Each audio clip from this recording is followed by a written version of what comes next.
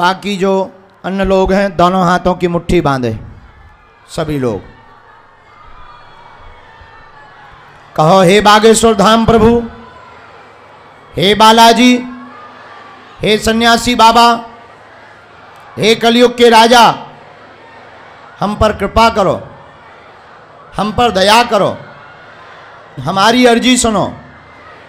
हे बागेश्वर बालाजी, हे सन्यासी बाबा आजीवन पर्यंत, आपके चरणों से, आपके धाम से, आपके दरबार से हम जुड़े रहेंगे, हम आते रहेंगे, वचन देते हैं। परंतु हमारी अर्जी सुनो, हमारी अर्जी सुनो, हमारी अर्जी सुनो। सब लोग मन ही मन बालाजी को प्रणाम करो, सन्यासी बाबा को प्रणाम करो। और मंत्र बोलो। हमारे साथ बोलो। ओ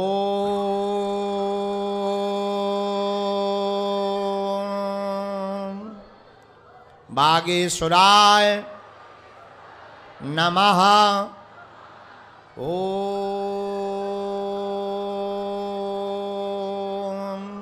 हम हनुमते नमः। ओ सन्यासी।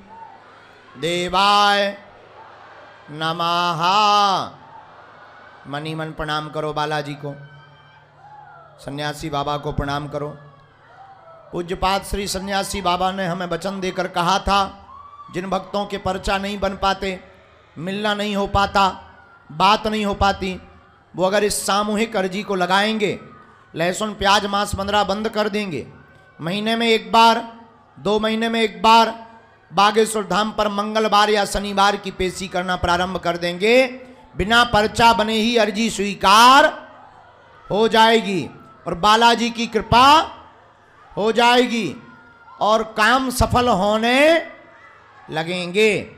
आप लोग जितने भी दरबार में बैठे हैं, सुन रहे हैं, आज तक के यह दरबार का 19 तारीख से 26 तारीख की जगह 28 तारीख तक चलने वाले इस सत्र की अंतिम अर्जी है। तो आप लोग अपने मन में तीन बार मन ही मन अर्जी को लगा दीजिए और नियम शुरू कर लें, हम मंत्र का प्रयोग कर देते हैं। और प्रेत रोगी को यहाँ बैठा दें।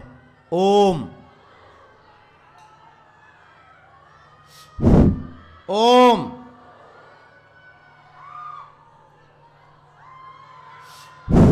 ओम।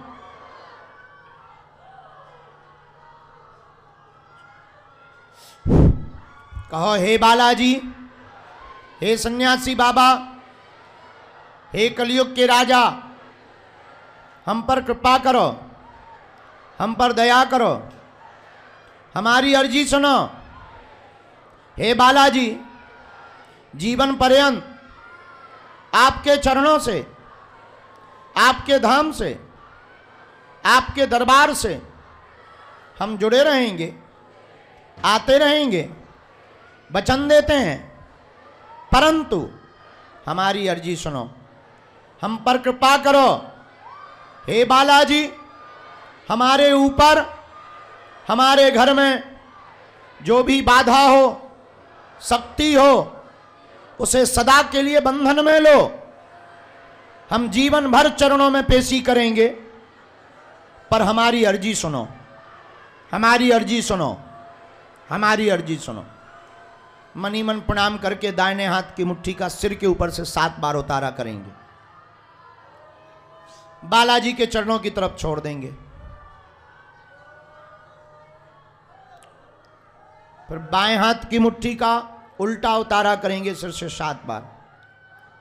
इसे भी बागेश्वर हनुमान जी के चरणों की तरफ़, बालाजी के चरणों की तरफ़ छोड़ देवेंगे फिर दोनों हाथों को आपस में मलेंगे। ओम बागेश्वराय ओम बागेश्वराय ओम बागेश्वराय नमः। दोनों हाथ मलकर अपने आँखों में लगाकर शरीर में जहाँ पीड़ा है स्पर्श करा लो।